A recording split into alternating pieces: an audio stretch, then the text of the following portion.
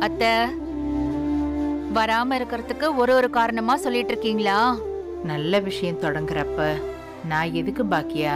இது வரைக்கும் நான் என்ன நல்ல விஷயம் தொடங்கினாலும் நீங்க தானே என் கூட இருந்திருக்கீங்க ஆ? அதெல்லாம் அப்ப இப்போ என்ன ஆச்சு?